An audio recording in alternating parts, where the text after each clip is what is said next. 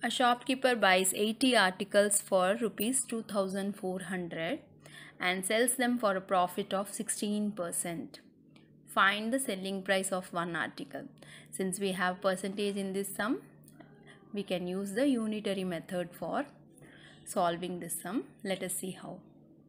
Welcome to Mathotropism.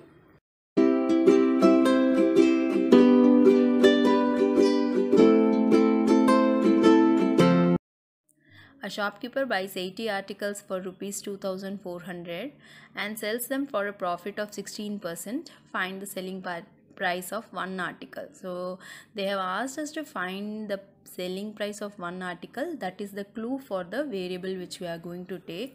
So let the selling price of one article be x.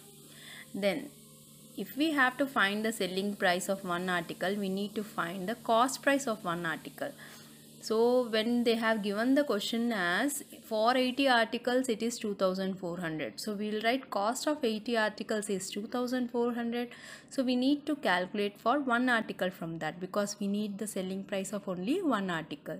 So cost price of one article is nothing but 2400 divided by 80 so when we cancel out the 0 we have 240 divided by 8 and we know 8 3s are 24 so we write 3 as the quotient and the balance 0 again. So it comes as rupees 30 so the cost of one cost price of one article is 30 rupees. Now in unitary method we know that we have to take two quantities and four values.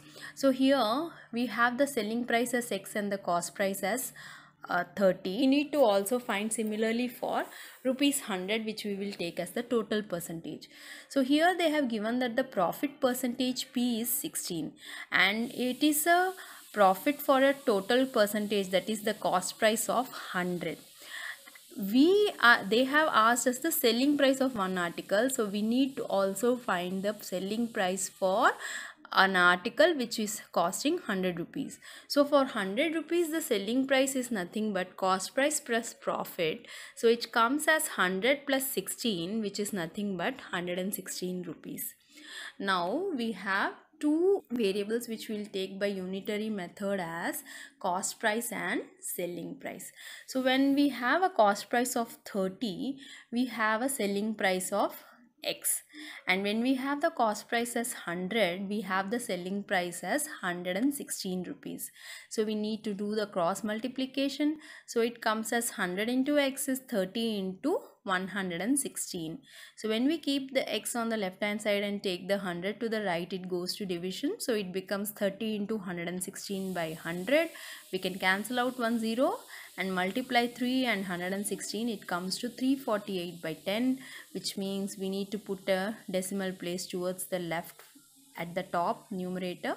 So it comes as 34.8 since it is in paise we'll write it as 80 rupees.